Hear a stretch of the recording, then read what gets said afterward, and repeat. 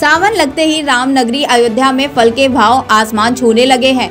आम 120 रुपए प्रति किलो बिकने लगा है तो केला नब्बे रुपए दर्जन पहुँच गया। आपको बता दें कि आम के दामों में दो दिन में 40 रुपए प्रति किलो का इजाफा हुआ। इसके साथ ही सेब, अनार, अंगूर समेत अन्य फलों के दामों में भी बढ़ोतरी हुई है। थोक मंडी के मुकाबले फुटकर में फल दो गुना महँगे बिक रहे हैं।